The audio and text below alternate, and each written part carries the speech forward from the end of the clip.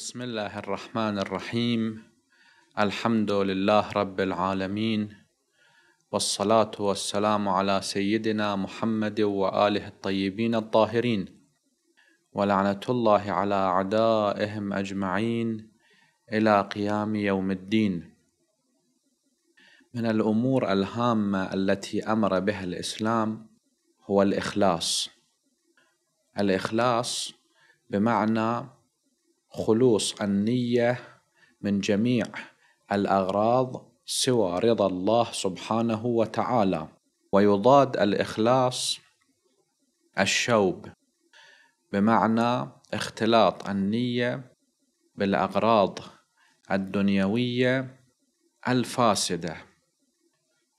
الإنسان نيته هي التي تلون عمله. فكثير من الأحيان عمل المؤمن وعمل غير المؤمن واحد في الظاهر ولكن عمل المؤمن يكون مقربا إلى الله سبحانه وتعالى وعمل غير المؤمن يكون مبعدا عن الله سبحانه وتعالى.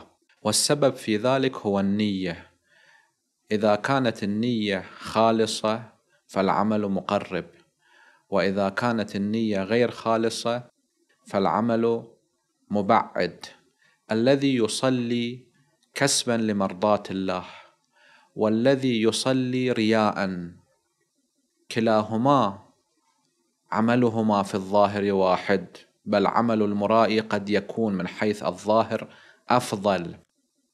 لكن عمل المرائي محرم وعمل المخلص واجب ومقرب إلى الله سبحانه وتعالى. وذلك لأن النية والقصد هي التي تعطي القيمة للعمل. ولذلك نشاهد أن الله سبحانه وتعالى أمر بالإخلاص في العبادة بحيث أن الإنسان إذا كانت له أغراض أخرى أغراض دنيوية خلطها بنية العبادة فإن تلك الأغراض الأخرى تسبب بطلان تلك العبادة.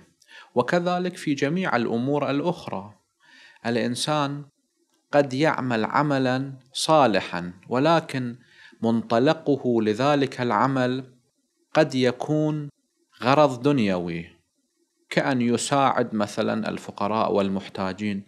لماذا فعل هذا الفعل؟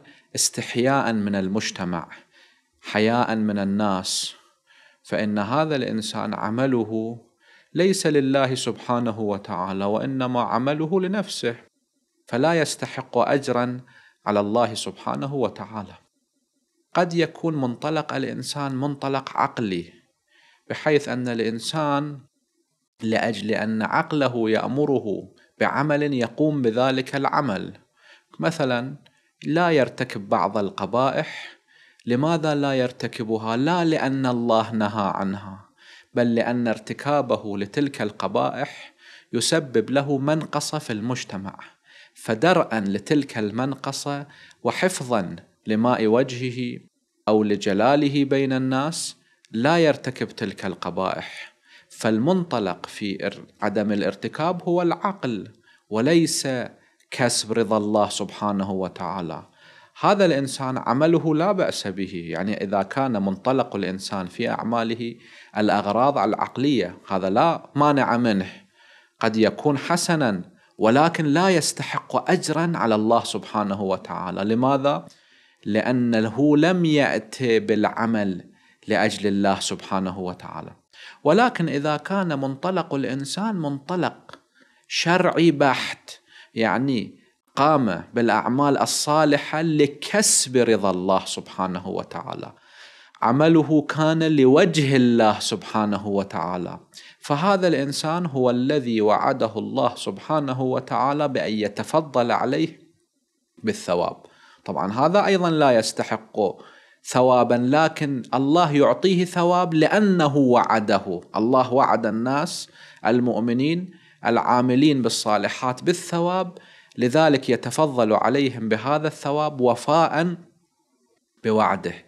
ينبغي علينا أن نستثمر فرصة هذا الشهر الفضيل لكي نحاول أن نجرد نياتنا من جميع الشوائب النفسية أو من جميع الشوائب الأخرى المنطلقات الأخرى حتى إذا كانت منطلقات عقلية وإنما نخصصها بالمنطلقات الشرعية كسبا لرضا الله سبحانه وتعالى. إذا كان في العبادة فسائر النيات مبطلة للعبادة. إذا كان هناك شوب وعدم إخلاص في تلك العبادة ورياء أمام الناس. وإذا لم يكن في عبادة كان في الأمور الاجتماعية الأخرى قد تكون المنطلقات الأخرى لا بأس بها ولا مانع منها وقد تكون جيدة ولكن بدون استحقاق الأجر من الله سبحانه وتعالى. أما إخلاص العمل لله سبحانه وتعالى يسبب الثواب.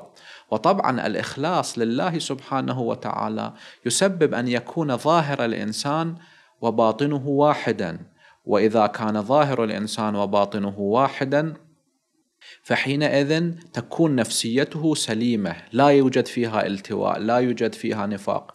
لأن الإنسان المؤمن يعلم بأن الله سبحانه وتعالى كما يراه في العلن كذلك يراه في الخلوات. ولا فرق بين العلن والخلوة لأن الله سبحانه وتعالى محيط بكل شيء علما وقدره. ولكن إذا كان منطلق الإنسان منطلق آخر.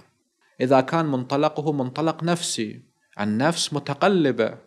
إذا كان منطلقه منطلق عقلي بحيث أنه لا يظهر بمظاهر النقص أمام الناس فإذا كان في الخلوة لا يقوم بذلك العمل الإيجابي أو لا يترك ذلك العمل السلبي لأنه يعلم بأن الناس لا يرونه ولا يشاهدونه.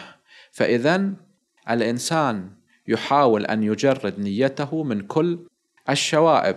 طبعا هذا التجريد بحاجة إلى تهذيب للنفس وبحاجة إلى الإمعان في آيات وروايات الثواب يعني الآيات والروايات التي ذكرت ثواب الآخرة وحسن ثوابها وكذلك التأمل والتفكر وتقوية العقل والفكر وبحيث أن الإنسان يصل إلى هذه القناعة النفسية بأن كسب رضا الناس ليس بمهم وإنما المهم هو كسب رضا الله سبحانه وتعالى وأن العمل إذا كان للناس فالإنسان لا يحصد منه إلا مدحا مؤقتا قليلا ثم يذهب هباء منثورا بعد اكتشاف حقيقة هذا الإنسان ولو بعد حين. أما العمل لله سبحانه وتعالى هو الذي يثمر وينتج والله سبحانه وتعالى يضاعف لمن يشاء. نسأل الله سبحانه وتعالى أن يجعلنا وإياكم من المخلصين. هذا وآخر دعوانا أن الحمد لله رب العالمين وصلى الله على محمد وآله الطيبين الطاهرين.